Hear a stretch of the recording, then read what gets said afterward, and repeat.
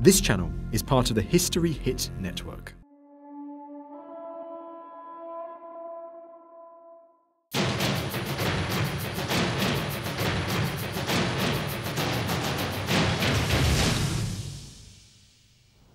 Welcome to the Cotswolds, one of the most affluent addresses in Roman Britain.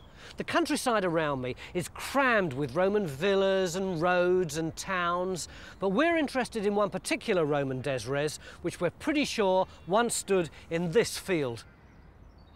Because these finds from a small dig here 23 years ago suggest an opulent villa built within years of the Roman occupation. And what's more, it's sited unusually close to two other villas. Once we've got the archaeological evidence from under here, we'll be trying to paint a picture of the Roman Cotswold family who lived here almost two millennia ago. And as usual, we've got just three days to do it.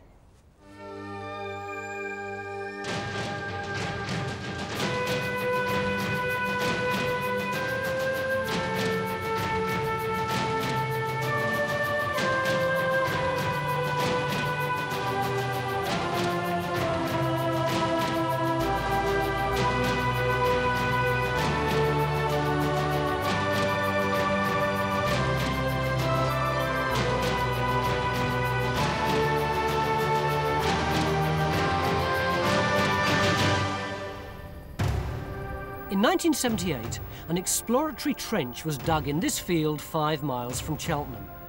Although the find suggested the existence of one of the Cotswolds' earliest Roman villas, no further investigation took place. Until now, as we attempt to discover the whole story of the villa in Waltham Field. Mick, why are you so confident there's something interesting here? Well, there was an excavation done here in the 70s by a local chap, and we're pretty sure it's somewhere in this field, aren't we, Phil? We've Well, the- I I mean, I think it seems to be pretty well um, precisely uh, located. I mean, it says here it's two metres from the hedge line, which is two metres off that hedge line, and 59 metres from Field Gate on the north side, which is that gate over there. So if we come 59 metres up there and two metres off that hedge line, we should get it. Yeah. You've geophysed, haven't you? Yeah, if you look at the results, Tony, whether that's the trench, I'm not hmm. sure. It could be just beyond there. It's about the right place, though, Yeah. isn't it? but I mean, the thing that's important is we're getting clear suggestions of hmm. wall lines that look like a building. Yeah. So our logic is for us to put a trench along the hedge there and find the edges of this earlier chap's trench, because it's always useful to reopen trenches like that. Do you think we should have a look at these supposed wall lines as well and see what they really are? I'm sure it's going through on this sort of alignment. Yeah. So if we do a trench across that, Yeah, and you're only halfway through doing the geophys anyway, aren't they? So if we start that and then we see what you get over that area as well. Yeah. So we can get on with that now. Which one do you fancy doing? Oh, what do you want? Well, you've got. Well, no, I mean, I'm, I'm quite happy to test this guy's um, surveying, really. That's I- the logic. Fascinates You, me, ta- yeah. you take the middle All one. right, I'll take Okay. another one. Yeah. History Hit is like Netflix, just for history fans. With exclusive history documentaries covering some of the most famous people and events in history, just for you. Our extensive catalogue of documentaries covers everything from the rise of Hannibal Barca to the illustrious treasures of King Tut. So sign up today for broadcast quality documentaries uncovering the mysteries of the ancient world. We're committed to bringing history fans award winning documentaries and podcasts that you cannot find anywhere else. Sign up now for a free trial, and Odyssey fans get 50% off their first three months. Just be sure to use the code Odyssey at checkout. So we'll put in a trench to find and extend the excavation carried out by a Mr. Wilf Cox in 1978, while Carenza will dig a second trench to help us interpret Geophys's early results for the site.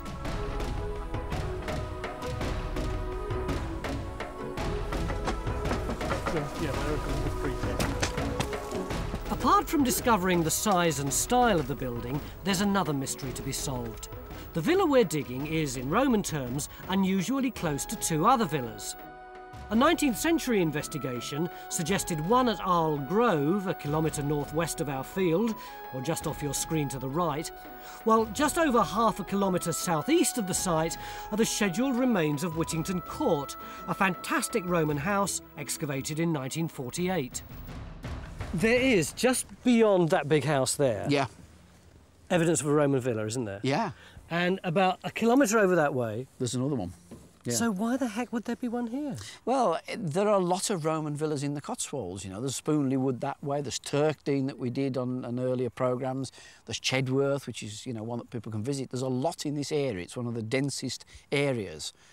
Quite why this one's here in relation to that one, only 500 metres away, we need to think about. But we don't know much about this one, so it's a geophys job and you know putting the trenches in. Hopefully we will by the end of the three days. Well, it'd be nice if we could find you another mosaic, wouldn't it?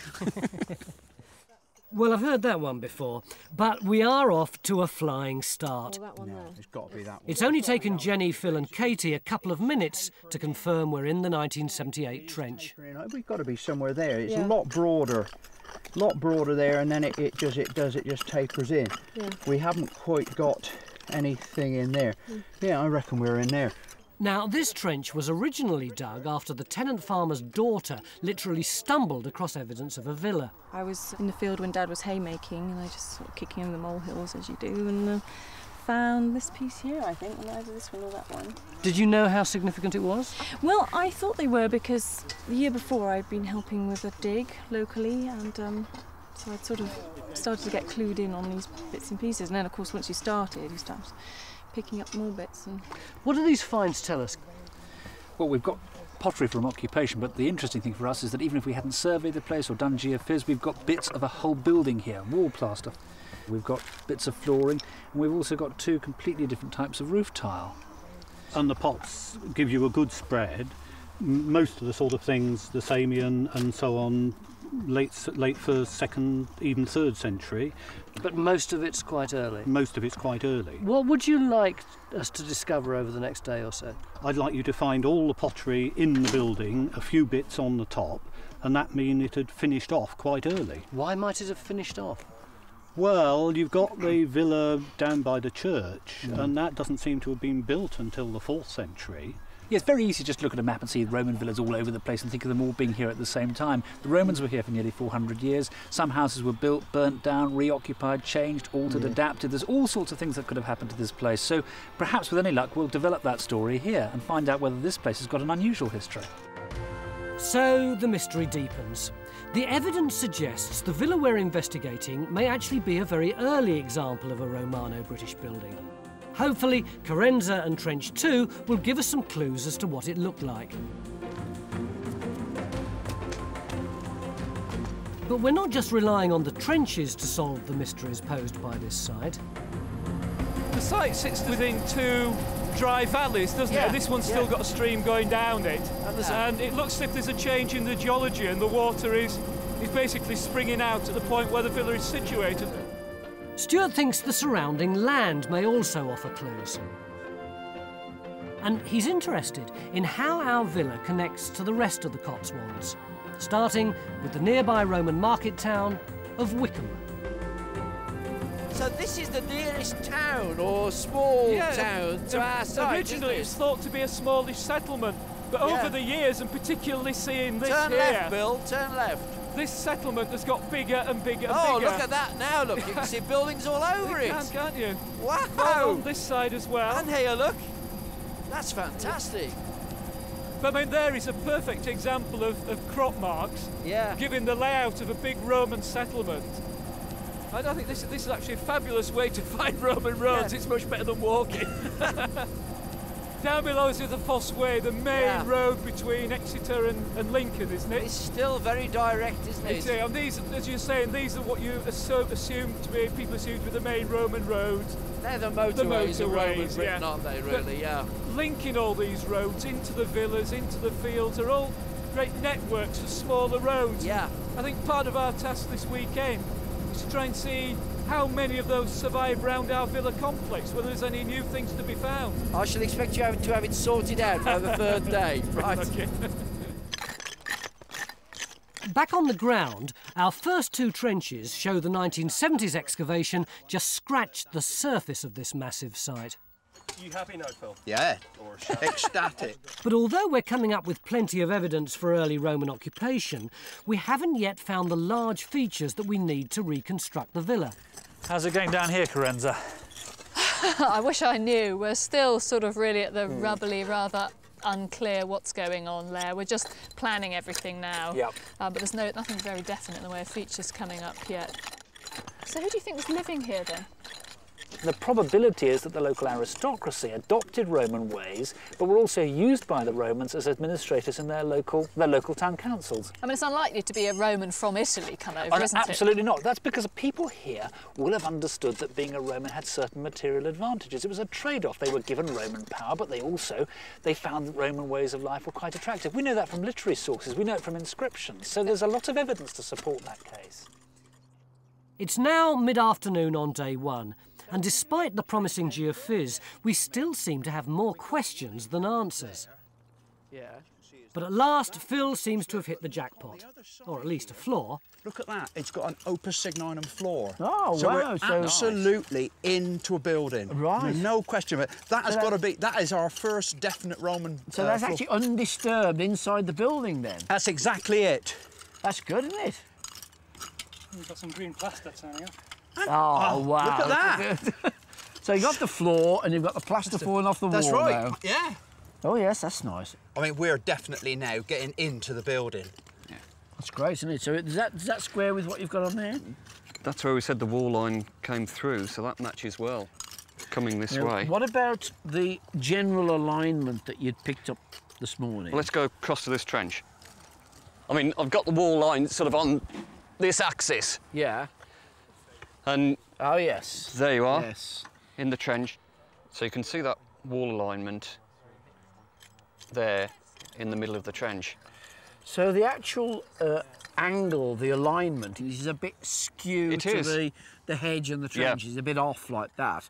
Well, since this morning, you've completed the rest of that area over there, haven't you? And you can see we've got sort of rectilinear arrangement of wall So foundations. you might have buildings around a courtyard or something like that. So what we plan to do is put another trench in just Yep. across here. Oh, somewhere across here. Yeah, because I, I think there should be another wall line coming through, Through this side, Yeah. parallel to that one. Okay, so we'll put this in next. Yeah.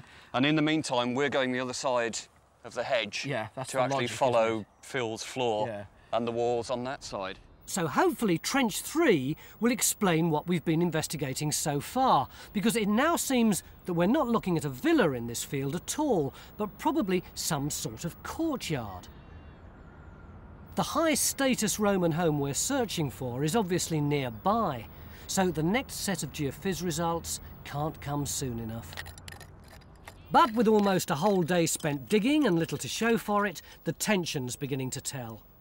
Nothing can distract our diggers as they try to untangle the archaeology. On the plus side, though, we now know the soil in this field is consistently shallow, so we can use a mini digger to help speed things up. We're all now desperate to see the results of the latest geophys. Pressure John could do without. The site is massive, and he's got an awful lot of blips to interpret. But as we approach the end of day one, we shouldn't be too pessimistic. We've got a bit of Roman wall popping up in that trench there. We've had lots of Roman tiles and roofing slates there. And just out of that trench, about five minutes ago, we got this lovely little piece of hypocaust tile with this pattern that's actually been rolled onto it. But basically, the whole thing's been pretty rubbly. Not much sight of a villa at all, except in Phil's trench. Phil, what have you got? Well, basically, we're in the corner of a room, Tony, which is going that way Into this field? into that field. Which is where John's been geophysics for the last couple of hours. John! Yeah, we're through here, Tony. Oh, is this it? No, those are the results from that field. You've just climbed through that boundary. But look here, Oh, very nice. walls extending for at least another 40 metres. Look, double walls at this point. And it's all on the same alignment as the walls we've got in the other field. But it's not forming a particular plan we can recognise Not at, at the moment, is it? No. But look at this, big curving ditch on that side. We're going to have to put a, a trench through that, but there's all these other walls and things to look at as well. Tomorrow? Yeah, there's a lot of work to do. And no one's ever dug for archaeology in this field ever before. Join us after the break. What do you think that is there?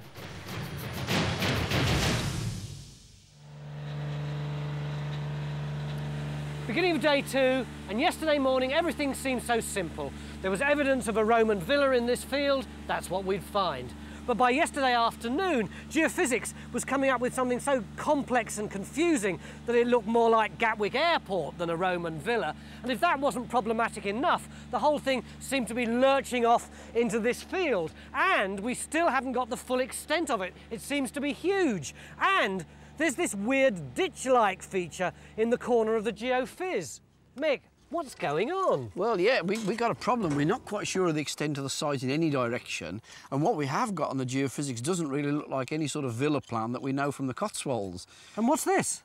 Probably a, an Iron Age ditch, but because it cuts through, or appears to cut through, these two dark areas, which is probably Roman building rubble, it's just possible that it might be a post-Roman feature. Dark Ages? Yeah, which would be fantastic. Because really. so little archaeology survives from that. Absolutely, yeah. So what are we going to do? Well, we're going to dig a trench the other side of the hedge from where we started yesterday in Phil's Trench. Phil's Trench, where we've got this uh, interesting little corner of Roman floor. Yeah, and we, we just want to see if those remains carry on into this field, because that, that's, you know, the, the best Roman building we've got at the moment.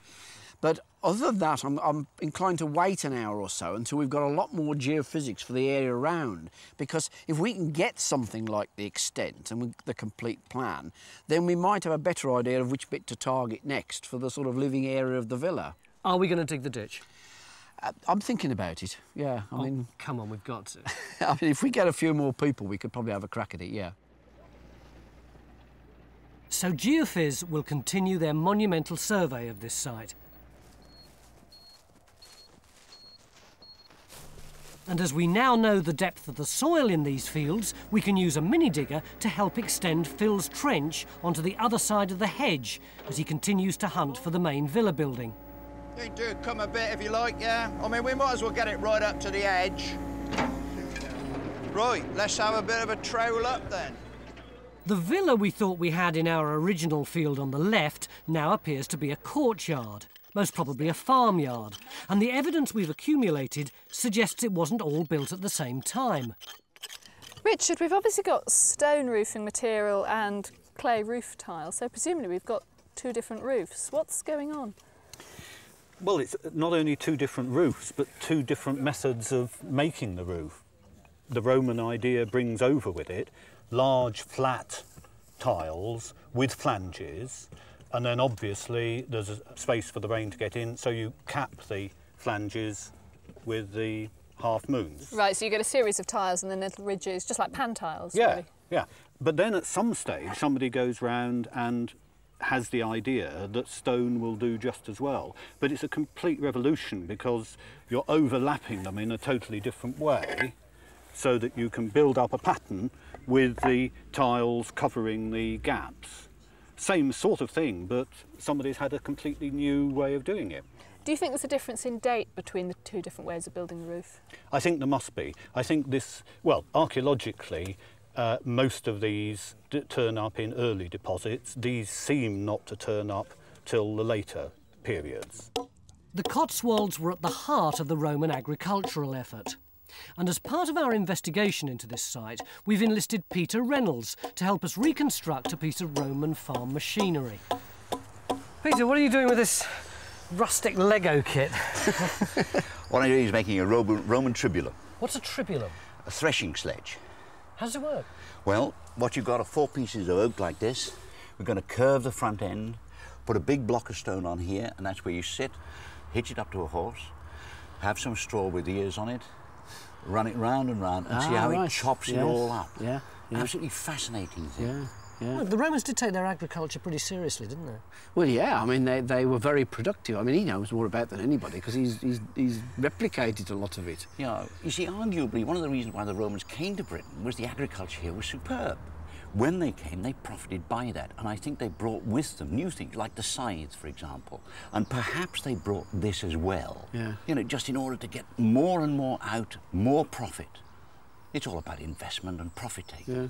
So would the people who lived in our villa basically have been farmers? Oh, I think so. I mean, even if there was a, an aristocracy, if we could call it that, in the big house, they would ultimately have derived their wealth from, from the farmland around and uh, you know there would have been a hive of industry of people processing whatever they were doing. There would have been lots of barns and sheds, rather like here, you know, to process the material and then send it off to the markets, nearest market towns, the Roman army elsewhere.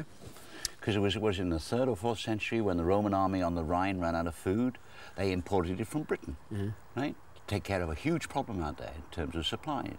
That gives you some idea of the wealth, if you like, of the agriculture here. It was enormous. Back on site, we're beginning to discover evidence of what that wealth might have been spent on. This That's is the nice. this is the bit that's intriguing me. What do you make of that? Ooh! Hey! You like that? Yeah. Well, you obviously Wait a like it. Wait a minute. oh, yeah. Now, this really is something. It's black Terra Nigra, and it's got an actual stamp Well, on. yeah. Yeah. Whoops. Remember, if anything happens to this, it's your fault. You're supervising me doing this. Oh. Oh! Is that any better? I's and O's and possibly an N.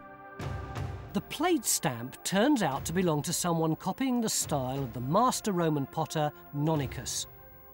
This high status piece of Terra Nigra tableware was originally manufactured in northeast France between 50 and 70 AD, and it suggests the people who lived here saw themselves as sophisticated. It also adds to the evidence that we're digging a very early Roman building. So this is really high status pots. It's stuff for the fashionable market, yeah. And you're going to have to pay for this if you want it, because you're going to import it from the Rhineland. And we have got here high status people living within what, 20 years Yeah. of the invasion? Yeah, round about the invasion plus 20 or something like that, already importing stuff and paying for it. Okay? I'll leave it up to you then. Yeah. While the intrigue continues in the trenches, geophys are beginning to get a grip on the massive amount of information that lies just below the surface. We got a nice road in. This discovery of a possible road down which our high status finds would have come could also be very useful to Stuart as he tries to work out why three villas were built so close together.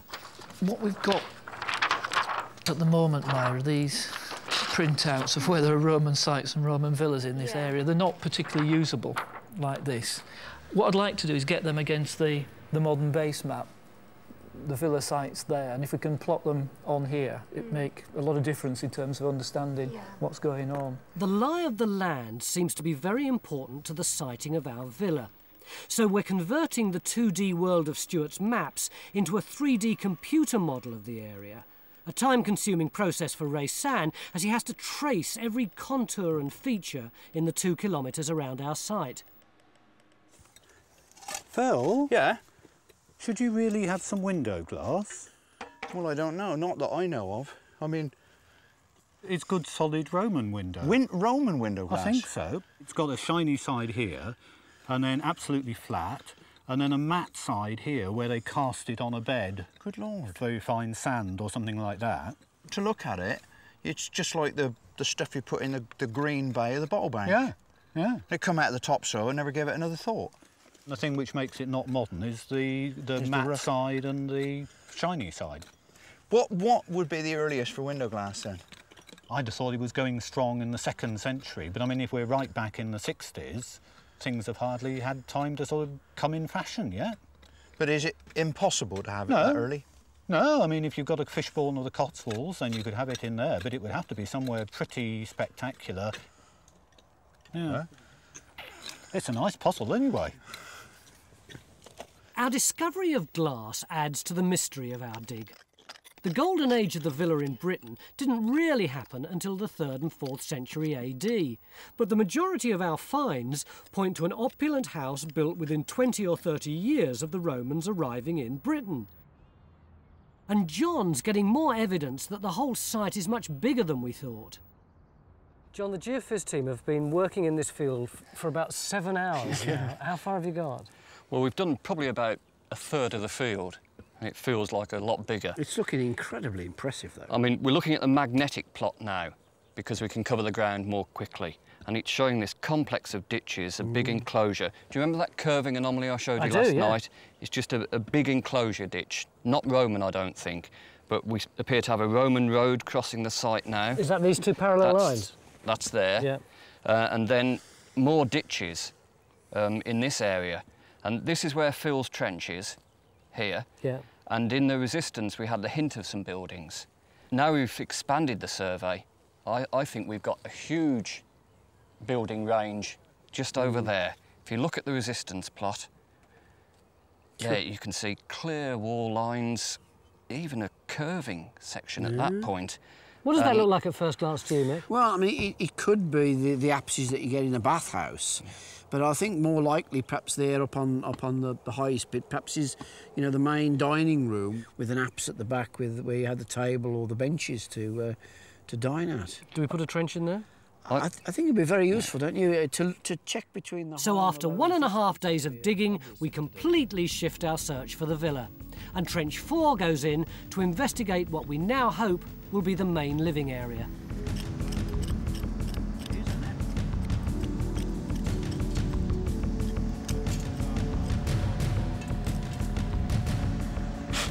Here, painted wall plaster.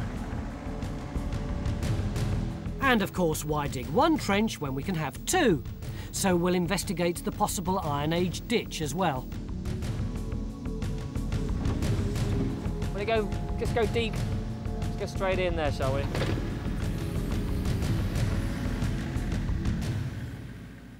We're closing down our trenches in our original field as we concentrate all our manpower on investigating Geophys's latest results. And as Roman Cotswolds expert Neil Holbrook happens to be in the area, we've decided to pick his brains too. And what's interesting to me is that you've got early Roman material coming off from Carenza's building there. Now the question is, is this building later than that one? Does that one go out using they build that one, or they actually Yeah. in use at the same time? So another trench here to get the chronology will be very useful. Hmm. We've already got two trenches in that block because the one either side of the hedge hmm. are actually in that block there. So it'd be useful, I mean, Carenza, perhaps you could do that, to Yeah, do this sure. one this end, hmm. just to test each end of that block. Well, that's fine because the trench over there in that field, we've really just about finished with. I think we, we've found we have got a deep ditch which Yeah. has got stones packed in it as foundations for probably wooden building, and I, I think that can be sort of mm. just left to finish off and record. Mm. We thought this was probably a big ditch and possibly Mm. Iron Age. I mean, if it is Iron Age, then the question mm. is that's really interesting because. You know, why, why have we got an Iron Age settlement and then an early Roman settlement? So we've got the link between the end of the Iron Age and the beginning of the Roman period. And it's half past five, day two, so. Yeah, we've got to get on with it. Yep. So you need to go and pinch the digger. I'll go and speak to John and find out exactly where that needs to go. With only an hour to go before the end of the day, the pressure's on in Trench 4 as we search for a curved wall, evidence of a triclinium, a high status dining room. Still looking pretty straight.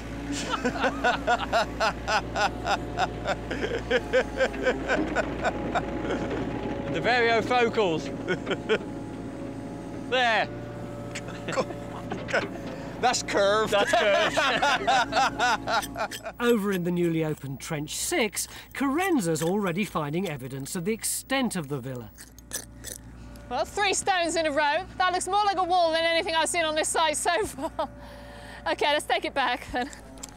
And the extended Trench 1 is still producing the goods, as it provides us with more clues to the lifestyle of the people who once lived here. It's going to be a nice bit of amphora, the big sort of uh, storage yard they use for transporting materials round. And you've got the um, handles coming off on that side and beginning of the side there. Right. Oh, yeah. It's quite loose. Very heavy. There we go. Nice isn't it? Going up uh, that way, you can Oh, see the handles uh, going down nicely. I think it'll probably be one of the types that was um, used for transporting olive oil. Right. So they were having quite a good time here. Oh, yes. So, with expensive pottery like this and the plate and glass windows we found earlier, we're obviously dealing with a rather sophisticated style of Roman life. And as the heavens open, Carenza finishes her day by hitting a floor within inches of the topsoil. That's starting to look like Opus Signinum slightly, isn't it? Pink, crushed tile in with it. Is, isn't it? Well, it's so dark I can hardly see colour. but it's- You told me that there would be a curvy apsoidal thing here, and all I can see is straight lines. Yeah, well, we're probably not quite far enough. It's this wall coming across here, and I reckon somewhere down here is about where it'll turn. this has just come up from it, which is a high quality glass vessel, a big glass jar, which is, you know, perhaps what we'd expect from that sort of area. So whatever this Roman building is, we're now right at the heart of it. Join us after the break, and tomorrow we'll try and unlock its secrets. If we don't drown first. Yeah, I'm kidding. And in a drier day three, blood is spilt as we race to complete our tribulum. Our finds reveal the personal side of the people who lived here. And after eight trenches, Time Team finally rebuild the villa that once stood here. It's the start of day three in the Cotswolds village of Whittington. With the help of Geophysics, our search for an early villa is now concentrated on this field. And by the end of yesterday, Phil and Carenza had started to uncover major evidence of a large Roman building. But the trench that really grabs my attention is a large hole that doesn't even touch the main villa. We've got this huge ditch here, which everybody seems to think is probably Iron Age. Yeah, yeah. We've got this great tangle of villa-like structures here. Yeah. We've got some more structures down there. Both of these are Roman. Yeah. This clearly is before Roman times. Yeah. What's going on? Well, there isn't actually much difference in time between this ditch, which is late Iron Age, and the Roman stuff, which is early Roman. So there's probably no more than 50 years be between the two. And so one possibility is that people that were living here before the conquest just up sticks and moved 100 yards, but were very quickly living in Roman style buildings using Roman pottery, material like that. And that would be very odd. And the only comparison I can think of is Fishbourne in, down in Sussex, which Barry Cunliffe excavated. And there what happened was that the, um, the Romans built a palace for the local tribal leader. The local tribe was pro-Roman and it was like a sort of reward for letting them in, really. Now, I'm not suggesting exactly the same thing happened here, but it's, it's odd that it is so close in date. In, and the Dobunni, the local tribe, were pro-Roman. What about the stuff that Carenza dug during the first two days over there? I, I think that's now one of these big aisled halls that you get on one of these estates, which the farm labourers and the servants and the slaves live in, and where they do the craft work and they look after the animals. The geophysics looks like a great big open space. And I talked to, you know, Richard and people, and it's about the right distance away. You don't want it right outside the front door, but you don't want it too far away. So that's like the working part of the estate. This may well be the posh house. Just how posh a house could be answered by our dig in Trench 4, as Phil and John continue the search for the curved wall of the villa's opulent dining room. It, it's straight throughout the length of your trench. It's only when you go beyond that there might be a curve. I can see it. Yeah. I don't know what it means. Does this mean that we're pressing to extend again? I think you might be. Well, I, I, But others have been luckier in their search for walls. After two frustrating days in our original field, Carenza's new trench has unearthed no less than three of them. It's brilliant. It's obviously part of the Roman building, but what's really exciting is we've got two separate walls. Why do you say two? Well, we've got one running along like this, and we've got one there. But the reason we know it's not just one wall turning is that this wall is built up against here. You can see Ah, all the yes, stones here stop there, and this line of stones runs right on, so it's not bonded in. Yeah. It's been built up against it. So we've clearly got two phases of a building here, if you like. And then we've got another wall up here, which we've just got the edge of coming along like that. And then even better, in the middle, we've got the remains of a floor level. So because we've got this floor in here, we know this is an inside, mm. the inside of a building. But what we don't know is which side of this wall is the inside and which is the outside. So we're going to widen the trench. Because we know at the floor level what would be really great if we could find a doorway threshold or something. So we're just keeping our fingers crossed for mm. that. And the other thing we want to do is lengthen the trench slightly to get the full width of this wall and again sort of contrast inside and outside so get a bit more of the structure. So at last, a picture of this site may be starting to come together. And our probable Iron Age ditch is now producing evidence of a switch from a British way of life towards a more Roman one. from this dark brown material here, we've actually got two or three pieces of pottery coming out. Ah, you got nice deep grooves on that. Oh, and you got that's actually the rim. I mean, I thought it was just broken off, but it's a very, very simple rim, just turned turned over. So that must be in the late Iron Age tradition, but it's well baked in a Roman fabric. That's more solidly Roman. It's a good Roman shape in a Roman fabric. So we're going from just after the conquest up towards the end of the first century, I would have thought. Well, that's all right, because actually quite that's actually quite high up in the ditch. You're still in the fill of the ditch. Oh yeah, at the, that the ditch goes down well Yeah. another half a metre that we, we can see already. So So, uh, so that's while is- the ditch is filling up, Yeah, rather this is- than when it's first dug. yeah, this is very very high up in the ditch. Right, great. So we'll carry on and see what we can find. Yeah. We've already opened six trenches, but Mick obviously feels that isn't enough and seems intent on reaching double figures. Why do all these things always happen so bloody late? I think we've got time to do a couple if we don't take more than the topsoil off. Well, Carenza's trench is there. Yeah. And we're looking at that range. Yeah. We've got the, the range coming Yes, in here. Yes, we've got a couple of trenches in there anyway, haven't we? So if we had one in this range here, Okay, well that looks that looks sensible, doesn't it, to go for that? and as a second target, we've got the ditches surrounding um, Right. the villa buildings Yeah. here. And then in the corner, this high Oh, yeah. resistance. So it could be a tower, not not necessarily defensive, but a garden feature or something like Possibly. that. Possibly. That's about right. If you pull it straight to me like that.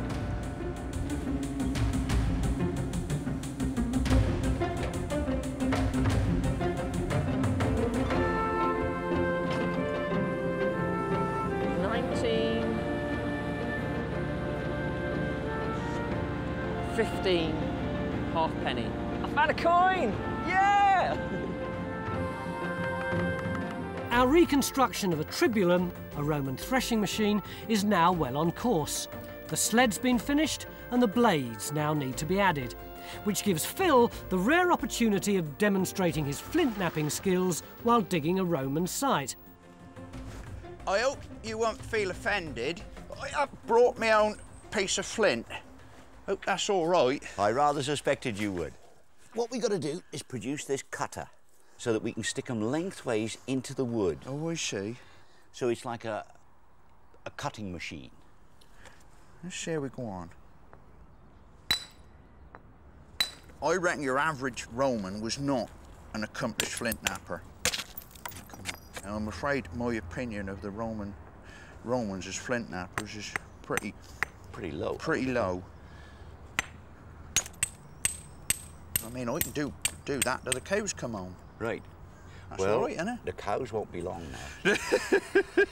That's just about cracking. All I want now is 148 more Is of that all? A stone of crows, you don't want much, do you? Back in the field, Trench 8's going in to gauge the size and style of the villa. The evidence we gather will help us interpret the geophys plan of the whole site, allowing graphics to recreate the buildings that would have once stood here. So we've got one clear building developed here, but we also know from the geophys we've got another structure here, quite a complicated building running through back to the trenches we dug on day one. Right. So it looks like we've got quite a complicated series of buildings around, perhaps an open courtyard, difficult to say at this stage, but I think it looks like perhaps something like a farmyard with a, a farmyard in the middle here with farm buildings around, dotted around it, barns and that sort of thing. Okay.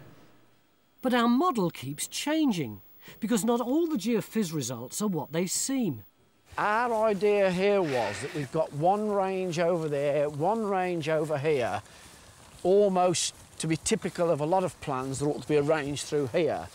And while we can't see it on there, you've got a mass of high resistance, which ought to be stonework. Yeah, and well, when we look in the trench, we can't- we can't see anything. got natural. So although we were hoping for a range of buildings across here, it actually looks as if the high resistance you've got is actually reflecting the geology rather than anything archaeological. I, I don't think we fully understand it, but we can certainly say there's not a range of a building here. Right, so we're looking at two ranges here rather than three. Yes. Just after lunch on day three, and we now know the extent of the villa. And Carenza has unearthed an abundance of walls in Trench 6, suggesting it wasn't all built at the same time. This morning we just had this Yeah, wall. which is up to very here. neat. Yes, and we had this turn here. Yes. Um, what we've got now is this wall carries on. We've got another wall coming Mhm. here, which is exactly parallel with that wall. That one, right. Both of them are just butted onto this wall. So I think they're all kind of related to each other, but probably two phases because it's butt joints. But the really confusing thing is Hmm. this room in here, Yep. which we've got three walls surrounding it, none of which are parallel with each other. This one's really poorly built, so it's a really bizarre room. Yet, for the whole trench, it's got the best floor in it. This is a real Roman workaday recycled floor. They would use pulverised bits of tile and pottery as hardcore to pack with cement to make a really solid basic floor. This roof tile had to come from somewhere. Now what we might be dealing with in this floor is a floor that's been made up from a roof fall from perhaps an earlier part of the phase of the house. What I'd like to know is whether this workaday recycle floor has actually been used as a repair overlaying an earlier floor. So there might be an earlier floor underneath. Well, I think that's a possibility. Well, I think in that case it would be extremely useful if we just put a small sondage in that corner to see what is below that. That's- Otherwise, we'll never know. No, no, that's the only way you're going to find out. Hopefully, this sondage, a small exploratory trench, will confirm Guy's theory. Over in Trench 4, there's still no sign of the curved wall that's so clear on Geophysics. But Phil has unearthed the earliest phase of the villa, a temporary kiln that may have fired some of the pots we've found on this site. so what have we got there? Then we got like the stoke hole, the main firebox in there. Yeah. You can actually see the ashes here and you can see the angle where they've been dragged out through the section there.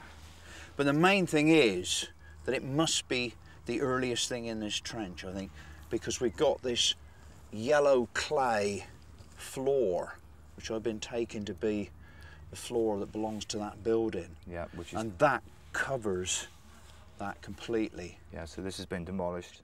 The finds just keep coming. In Trench 7, we've unearthed a fascinating insight into the beliefs of the villa's residents. Look at this, Tony. This is a pocket-sized altar for a household shrine, something that a Roman could take around with him. So this will have been something from the domestic shrine in this house with the family who lived here. It's like that, like in the movie Gladiator, where the guy got the little. It's exactly the sort of family thing. gods. Yeah, that's right. The family gods to take around with the person. So this is something he could have carried off with him for the day, or if he moved somewhere else, he would have taken this with him. And do we know whether this would have been early in the Roman period or late? Can't possibly tell, but it's a lovely little private piece of belief. And we're still finding evidence of the Britons who once occupied this site. This brooch, dating from the first 50 years AD, has just turned up in the extended Trench 1. It's possible it could be from a woman wearing a simple form of tunic which is not sewn across the shoulder but is held in place by a brooch, one on either side. So you sort of step into it and pull it up and pin and it. And pin it, yes. Despite the excitement these finds generate, we haven't forgotten one of our major tasks over these three days figuring out why this area had so many villas built so close together. And Stuart now thinks he may have cracked it. That's our villa site. That's the excavated Whittington Villa. This is Wycomb, which is in effect a Roman settlement with a temple, a big street village. This is the thing we could see from the crop marks from the air, wasn't it? That's the one. Yeah. And there's another one up here at Isle Grove, which Right. was discovered last century, although not fully investigated. Now, for someone like Stuart, this 2D map with all its contour lines makes perfect sense. But to help mere mortals like myself, we've turned the 2D map into a 3D model of this part of the Cotswolds. There's Wycomb settlement there with the temple. Our villa is here. Algrove Villa, Whittington Villa. Can you see there's a big deep valley there, deep valley, escarpment edge here. And in effect, you've just got a, a narrow ridge down here, which dictates where the villas are going to be situated. What's so attractive about this site? It's got all the ingredients you need for a, a working Roman farm economy. It's got nice fertile ground, which is well drained, got rivers and springs. It's got upland area here, which you need for Your pasture. and- pasturing yeah, animals and so on. Mm. It's got heavily wooded steep slopes, which you need for timber, for charcoal. And I think that's what this is actually telling us, that we've got three working farms, in effect, Yeah. dividing up this landscape. It's the only place they can actually put them. Short straw. but I can see why this is high resistance. It's putting up a lot of resistance to me, I know that. Is it just building rubble? Yep. Lots of stone, big lumps of it.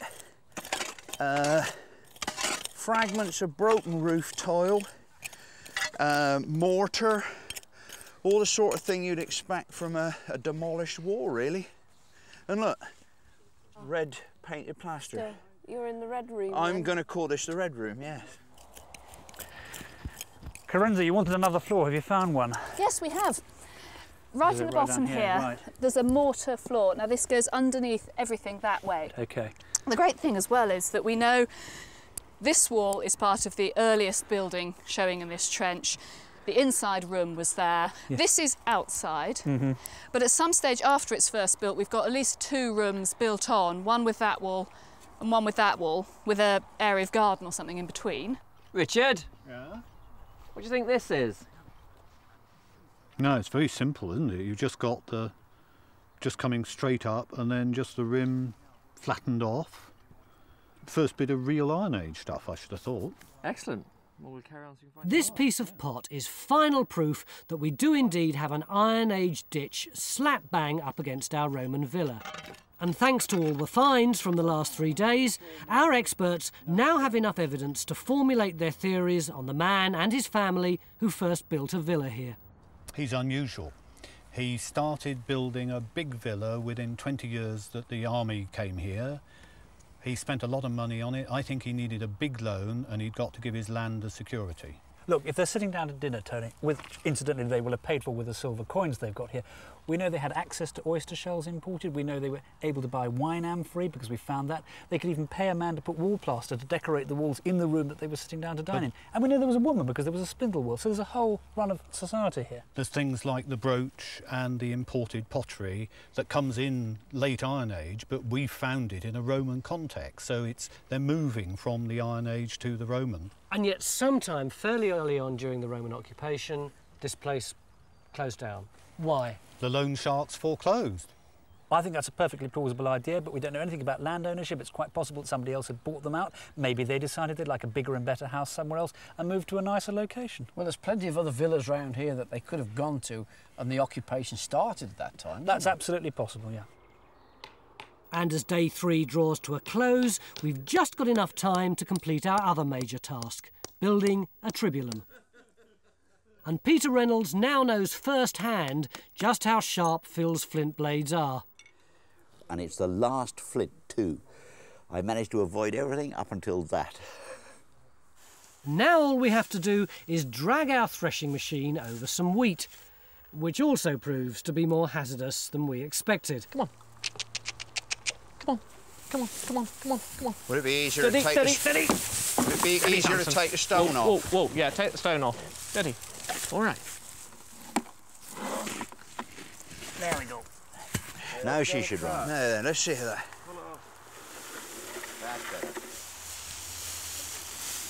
Under the weight of the sled, Phil's super sharp flint blades are crushing and chopping the ears of wheat. And it's working. Oh, yes. I mean, you can actually see, you can actually Yeah. see the, the grains of corn in the ground. Yep. It's then a matter of literally separating the wheat from the chaff. Yeah. That's all you got to do, winnow it out. That's it. And then you're home and dry. And you've got the chaff for the livestock to feed them, and you've got the stuff to make the bread with.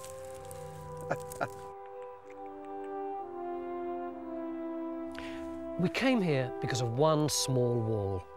And in just three days, we've managed to paint a really good picture of what life must have been like in these fields nearly 2,000 years ago. Over there, a long villa building, incorporating all the new Roman technology that its owner could either find or afford. Over there, another villa building, probably the business end, incorporating things like the kitchen. And behind that hedge, a massive aisled building for the slaves and the farm workers and the cattle. But what about the owner? Maybe he got rich and moved on. Maybe he misjudged everything and lost his house and all his money. But what we can be pretty sure of is that he was someone who dived into the new Roman culture and ideas headfirst. Must have been great while it lasted.